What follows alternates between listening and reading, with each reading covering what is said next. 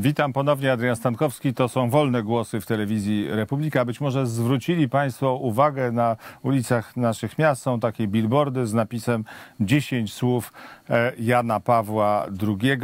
E, witam serdecznie pomysłodawcę i autora tej akcji, ksiądz Jerzy Limanówka, Fundacja Salvatti. Witam serdecznie. Szczęść Boże. Szczęść Boże, witam również bardzo serdecznie wszystkich telewidzów. Od razu zapytam, dlaczego tylko 10 słów Jana Pawła II? Przecież nasz kochany święty zostawił dużo więcej niż 10 słów. E, tak, oczywiście, ale e, chodzi tutaj o e, nawiązanie do dekalogu, który był e, tematem jego pielgrzymki w 1991 roku. E, I to była pielgrzymka pod hasłem Bogu dziękujcie, ducha nie gaście, e, ale głównym tematem i przesłaniem był dekalog. I na początku w Koszalinie 1 czerwca, czyli dokładnie dzisiaj jest to 30 lat od tego, tego wydarzenia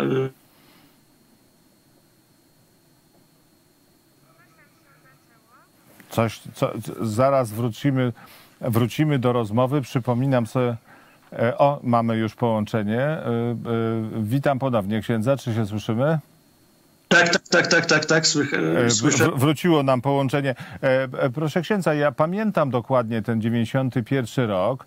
Jan Paweł II, który no, był, obalił, zwyciężył komunizm, mógł przyjechać tutaj na, taki, na taką rundę honorową w zasadzie do, do Polski, a wybrał bardzo trudny program tej pielgrzymki, no właśnie powrotu do najbardziej podstawowych dziesięciu e, słów. Dlaczego tak się stało? Tak, to było dużym zaskoczeniem e, dla wszystkich i ci, którzy komentowali tę pielgrzymkę, też temu się dziwili, bo Jan Paweł II mógł przyjechać jako triumfator, ten, który e, pokonał komunizm i to miała być taka triumfalna pielgrzymka. Natomiast Jan Paweł II wybrał, że na początku naszej wolności potrzebujemy e, właśnie tego solidnego fundamentu, którym jest dekalog. I to, do tego nawiązuje nasza akcja, żebyśmy sobie przypomnieli tę akcję, kiedy właśnie wejdziemy na stronę dekalogjp2.pl, to tam znajdziemy przypomnienie tej pielgrzymki. No właśnie, tam znajdziemy też ankietę. Na czym polega ta akcja z ankietą?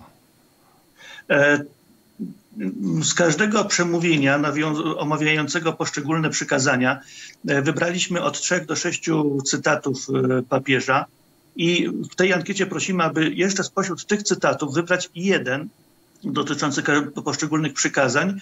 E, I w ten sposób e, mamy nadzieję, że powstanie jakby e, nowy dekalog, czy dekalog współczesny, nie, przepraszam, nie nowy dekalog, dekalog jest jeden, ale dekalog współczesnego Polaka, którym będziemy uważać, co jest dla nas najistotniejsze po tych 30 latach, kiedy teraz również stoimy przed różnymi trudnymi wyzwaniami.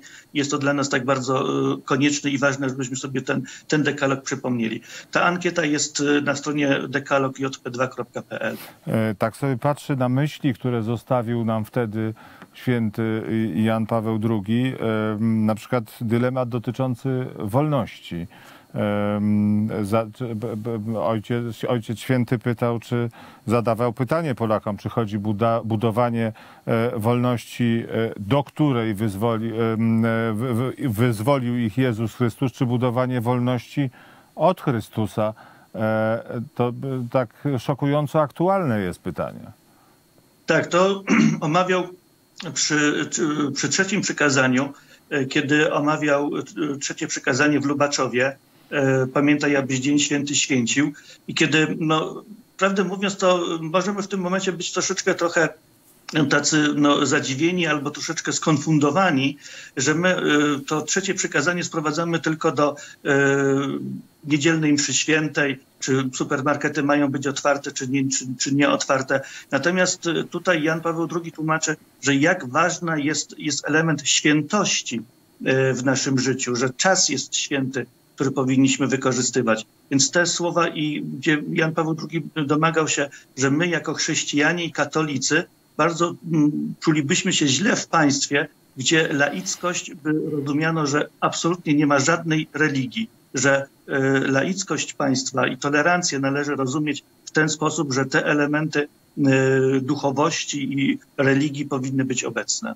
No, po latach chyba najba, największe wrażenie e, na mnie przynajmniej wywarło, wywarła homilia dotycząca ochrony życia, e, bo papież e, no, w bardzo bezpośrednich słowach wtedy zwracał się do Polaków. Tak, to, to omawiał dwukrotnie, ponieważ po raz pierwszy e, w Kielcach, kiedy omawiał czwarte przykazanie czci ojca i matkę swoją, wtedy tam powiedział takie bardzo ważne słowa, że to przykazanie odnosi się do dzieci, czci ojca i matkę swoją. Ale to, co i wtedy już w 91 roku mnie bardzo mocno zaskoczyło, że Jan Paweł II powiedział, ale rodzice powinni zasłużyć na tę cześć i szacunek. To nie jest to, że, że to jest bezwarunkowe, że mm, powinni, że, że dzieci są do tego zmuszone. Rodzice powinni na to zasłużyć i mówił to szczególnie w kontekście, w kontekście y, właśnie aborcji, przyjęcia poczętego życia. Natomiast rozwinął to w, w, następnym, w następnej homilii w Radomiu, gdzie mówił nie zabijaj i tutaj powiedział te słowa, które są dla nas bardzo aktualne, bo powiedział y, bardzo wyraźnie, że nie ma żadnej instytucji na świecie, nie ma żadnego parlamentu, który może zalegalizować, który może powiedzieć wolno zabijać, że nie ma takiej żadnej instytucji, która mia, miałaby prawo e, ustanowić e, takie zasady, gdzie wolno zabijać życie. Ale też tam powiedział bardzo ważne słowa w Radomiu, które jak tutaj, jak tak prze, prze, przeglądam te ankiety, które do tej pory spłynęły, że Polacy tam często zaznaczają też wypowiedź Jana Pawła II, że e, wraz z ochroną e, życia poczętego powinna być też ochrona matki, rodziny, że matka nie powinna zostać sama z tym problemem e, dziecka. Też tam Ojciec Święty też uczula, że to nie powinien być problem. W ogóle to nie powinno się takiego słowa używać, ale że nie powinna w tej trudnej sytuacji matka zostać, zostać sama. Tak więc to jest prze, nauczanie z tych 30 lat jest bardzo, bardzo aktualne. Co ważne słowa, zwłaszcza dzisiaj w Dniu Dziecka. Tak, tak się nam złożył czas. E, bardzo serdecznie dziękuję za to spotkanie, e, proszę księdza. Gościem Wolnych Głosów Telewizji Republika był ksiądz Jerzy Limanówka z Fundacji Salvati, inicjator, animator akcji 10 słów E, Jana Pawła II. Panie Boże, zapłać e, e, za, za, za wizytę w, na, w, naszym studiu. Proszę księdza, dziękuję serdecznie. Dziękuję. Tylko powtórzę dekalog.jp2.pl. Zachęcam do odwiedzenia tej strony. Również zachęcamy. Państwu dziękuję za uwagę. Za chwilę wolne głosy za granica.